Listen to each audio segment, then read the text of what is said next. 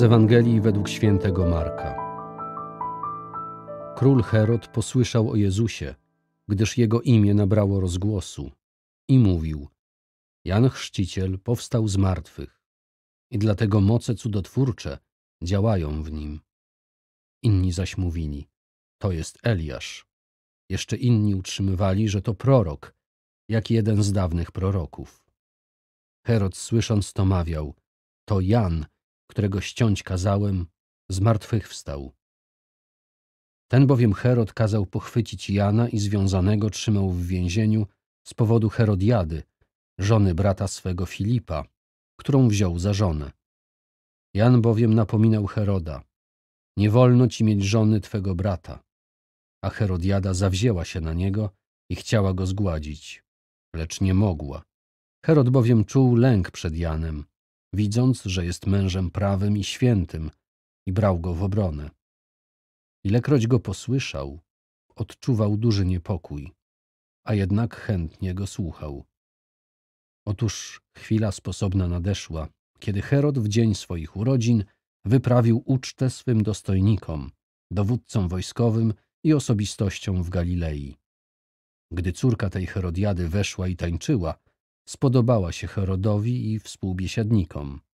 Król rzekł do dziewczyny: Proś mnie o co chcesz, a dam ci. Nawet jej przysiągł: Dam ci o co tylko poprosisz, nawet połowę mojego królestwa. Ona wyszła i zapytała swą matkę: O co mam prosić? Ta odpowiedziała: O głowę Jana Chrzciciela. Natychmiast podeszła z pośpiechem do króla i poprosiła: Chcę, żebyś mi zaraz dał na misie głowę Jana Chrzciciela. A król bardzo się zasmucił, ale przez wzgląd na przysięgę i na biesiadników nie chciał jej odmówić. Zaraz też król posłał kata i polecił przynieść głowę Jana. Ten poszedł, ściął go w więzieniu i przyniósł głowę jego na misie. Dał ją dziewczynie, a dziewczyna dała swej matce. Uczniowie Jana, dowiedziawszy się o tym, przyszli, zabrali jego ciało i złożyli je w grobie. Moi drodzy, dwóch bohaterów dzisiejszej Ewangelii szczególnie można zestawić. Jeden to Jan Chrzciciel, a drugi to Herod, jego zabójca. Jan Chrzciciel był człowiekiem wolnym, ponieważ całkowicie oddał się w ręce Boga. Wolność jest w Bogu. Nie od Boga, ale w Bogu, ale od grzechu, od wszelkiej zależności od zła. Nawet kiedy Jan Chrzciciel był związany, zamknięty w więzieniu, on dalej był wolny. Herod, choć wydawało mu się, że jest królem, to był królem marionetkowym.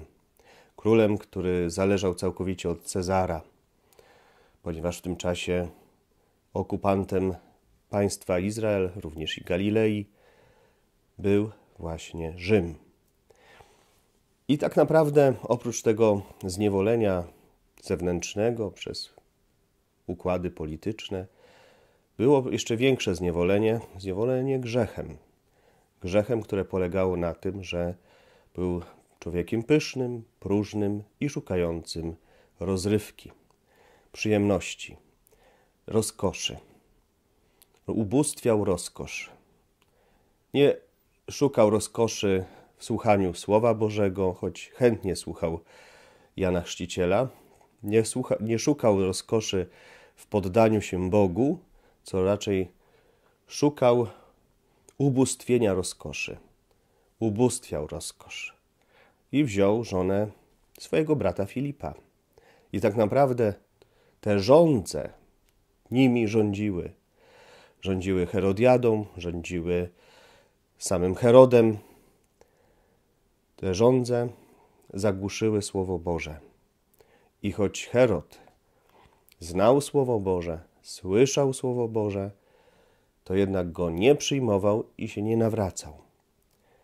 To jest y, tragedia tych wszystkich, którzy słuchają Słowa Bożego, ale nie chcą żadnych zmian w swoim życiu. Chcą, żeby było tak, jak było. Cały czas było przyjemnie. Kiedy miał urodziny, wyprawił znakomitą ucztę dla wszystkich najważniejszych osób w państwie, a główną atrakcją był taniec z gwiazdami. Taką gwiazdką była córka Herodiady, Salome. Ten jej taniec bliskowschodni tak uwiódł serce Heroda, że w końcu był gotowy na wszystko. Wszystko chciał jej dać. No to ona nie wiedziała o co prosić. A Herodiada już przygotowała sprytny plan zabicia Jana Chrzciciela, żeby się nie odzywał, żeby nie wchodził nam do łóżka, żeby nas tutaj nie ograniczał swoimi poglądami, bo jest nietolerancyjny. I dziecko, choć wydawałoby się niewinne, wypowiada słowa nie swoje, tylko matki i żąda głowy na misie Jana Chrzciciela. W historii były takie przypadki, gdzie tak naprawdę ci, którzy bronili prawdy, bronili Chrystusa, prawowierności, musieli płacić swoją głową. Kiedy w XVI wieku inny król, który się nazywał, miał imię też na H, czyli Henry VIII, kiedy papież dał mu pozwolenie na ślub ze swoją szwagierką, czyli znowu żoną brata, to potem stwierdził, że ten ślub jest nieważny, bo przecież Jan Chrzciciel mówił, że nie mogę mieć żony swojego brata, ale ten brat już nie żył. To była wdowa. Więc stwierdził, że chce unieważnienia małżeństwa, stwierdzenia, że to małżeństwo było nieważne, bo chce mieć ślub z, nie z Katarzyną, tylko z Anną Boleyn.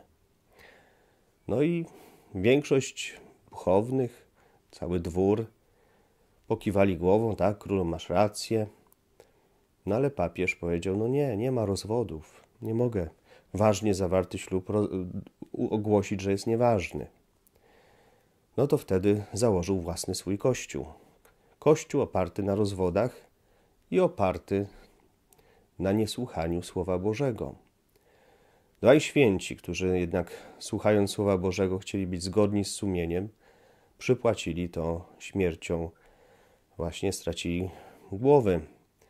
Tomasz Morus, idąc na ścięcie, jeszcze sobie żartował, mówiąc do kata, bo już był w podeszłym wieku, pomóż mi wejść na szafot.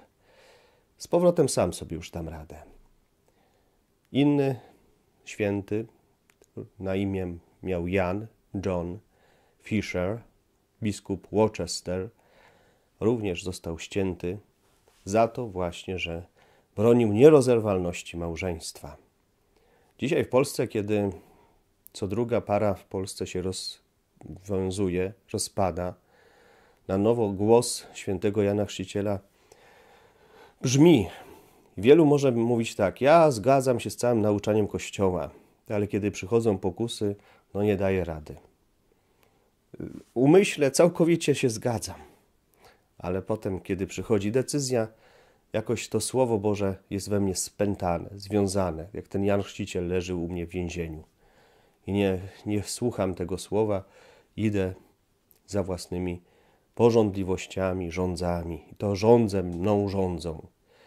Dzisiaj na nowo potrzeba nam prosić Boga, aby przyszedł ze swoim Słowem, które jest ostre jak miecz obosieczny, przetnie te więzy zakładane e, właśnie prawdzie. Jak to święty Paweł pisał w liście do Rzymian, że poznali Boga, ale nie oddawali Mu czci jako Bogu. Nie dziękowali Mu. Związali prawdę, założyli prawdzie pęta. Opętali tą prawdę, żeby nie prowadziła ich, żeby oni chcieli nad nią panować, a nie żeby ona panowała nad nimi. Dzisiaj pomyślmy tak, co nad nami panuje, jaka rzeczywistość, czy rządzą nami nasze rządze, czy prowadzi nas Słowo Boże. Czy jesteśmy słuchaczami, którzy się nawracają i idą za Słowem Bożym, tak jak uczniowie Jana Chrzciciela stali się apostołami i poszli, czy też jesteśmy jak Herod, którzy szukamy rozrywki, bo jest nam pusto, ciągle potrzeba tego czasu wypełnić jakimiś zabawami, rozrywkami, zab jakimiś balami karnawałowymi, bo coś tam nam brakuje w sercu. Warto sobie zadać takie pytania. I tak na koniec warto jeszcze przypomnieć, że niejaki Józef Lawiusz, który był kapłanem świątyni w Jerozolimie, potem był też uczony w piśmie i też brał udział w wojnie żydowskiej, która się rozpoczęła w 1966 roku, zakończyła się klęską, zburzeniem świątyni w Jerozolimie w 70 roku i w swoich dawnych dziejach Izraela, Antiquitates Judaice, napisał między innymi e, swojej właśnie tej księdze takie stwierdzenie, dlaczego wojsko Heroda, które myślał, że jest taki silny, przegrało jednak z Rzymianami. Otóż interpretacja tego faktu była taka. Żydzi uważali, tak pisał Józef Lawiusz, wcale nie chrześcijanin, obywatel Rzymu, Żyd, pisał tak.